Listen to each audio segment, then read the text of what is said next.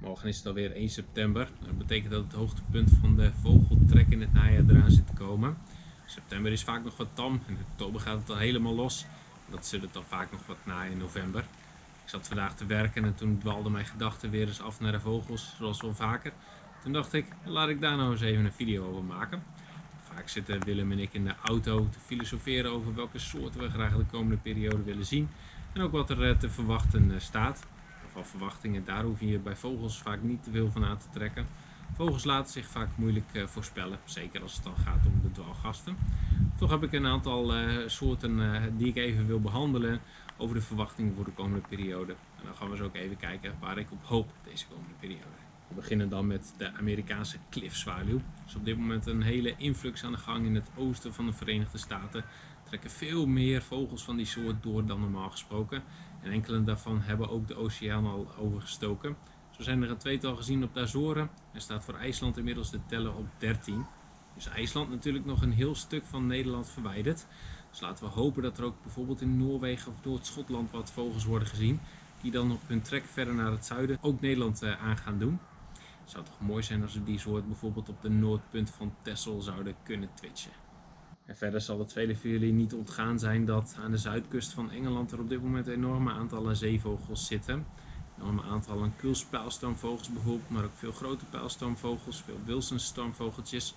En echte megaklappen zoals een roodpootgent, een bruine gent, twee zuidpooljagers en ook enkele scopolis pijlstoomvogels. Nou, die laatste die verwacht ik natuurlijk niet echt in Nederland te gaan zien. Maar als er in september goede wind waait, waardoor de zeevogels naar de kust worden geblazen. Wie weet zien wij dan ook wel een kuilspijlstoomvogel of een grote pijlstoomvogel. Laatste zal niet de eerste keer zijn dat die wordt gezien in een periode dat er ook veel in Engeland worden gezien. Verder las ik op het internet dat het ook weer een goed broedseizoen is geweest in Finland voor blauwstaat en bosgors.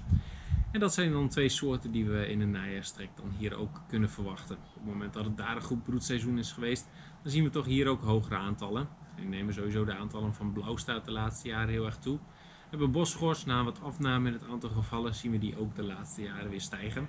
Het zou toch leuk zijn om een van beide soorten ook te kunnen twitchen. Liefst natuurlijk beide. En dan ook nog filmen. Want ze ontbreken allebei nog op mijn filmlijst die ik sinds anderhalf jaar bij uh, houd.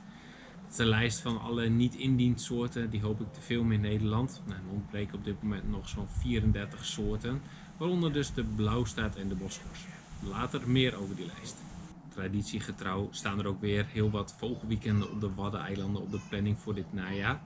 Zo zijn er altijd drie Deception Tours weekenden op Vlieland. Is een Dutch Birding vogelweekend op Texel. En er is vaak ook een Toxic Trash weekend op Schiermonnikoog. En dan gaan er ook nog groepen andere vogelaars de Waddeneilanden op om te zoeken naar zeldzame vogels. De data voor dit jaar zijn Deception Tours 1 is van 22 tot en met 24 september. Deception Tours 2 13 tot en met 15 oktober en Deception Tours 3 is van 27 tot en met 29 oktober. En het Dutch Birding Weekend is dit jaar van 6 tot en met 8 oktober. Na een overleg met mijn vrouw heb ik besloten om twee weekenden heen te gaan en dat zijn de Deception Tours 1 weekenden op Vlieland en het Dutch Birding Vogelweekend. Aangezien mijn vrouw ook op zaterdags nog werkt, wordt het anders wel heel zwaar om al die weekenden ook nog eens te zorgen voor Olivia. Maar goed, wordt er natuurlijk een knaller gevonden? altijd zijn dat ik naar een Waddeneiland ga.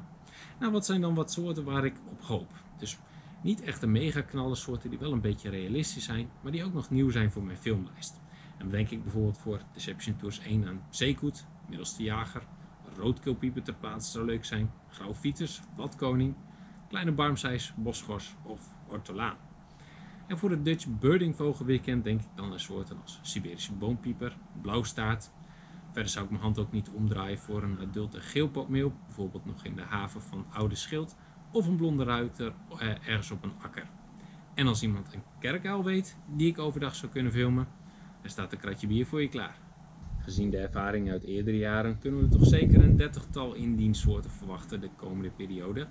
Zelf hoop ik dan meestal op inhalers. Soorten die gezien zijn vanaf 2009, toen ik startte met vogels kijken, maar die ik om de een of andere reden nog niet heb gezien. Dan denk ik bijvoorbeeld aan soorten als uh, varkstaartplevier, Eleonora's, zaker of giervalk en met name langstaartklavier. Ook een herkansing voor rotzwaluw in bijvoorbeeld november zou ik erg op prijs stellen. En uh, wie weet een witstuit barmsijs. Het is een influxsoort en toch een van de lastigere niet-indiensoorten om te zien. Die heb ik dan ook nog steeds niet gefilmd. Een andere niet-indiensoort die ik überhaupt nog niet gezien heb is het stormvogeltje. Dus als die een keer over zee langskomt, zou het toch ook wel heel fijn zijn. Uh, verder zou het toch ook wel eens leuk zijn als er een twitchbare veldrietzanger of Siberische sprinkhaanzanger komt.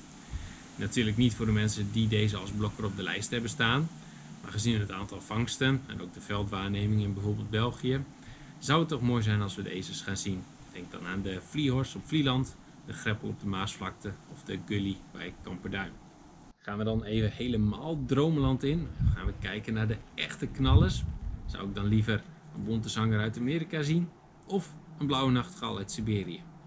Of een snornachtegaal uit Siberië of een grijswang dwerglijster uit Amerika? Nou, de mensen die mij kennen, die zullen weten dat mijn hart toch net iets sneller gaat kloppen van de Yanks dan van de Sips. En Yanks staat dan voor de Amerikaanse zangvogels en Sips voor de Siberische zangvogels. Het idee dat die Amerikaanse zangvogels de hele oceaan zijn overgevlogen, geeft toch net dat beetje extra. En hoe denken jullie erover? Ik zou het ontzettend leuk vinden als jullie een berichtje onder deze video zouden willen achterlaten.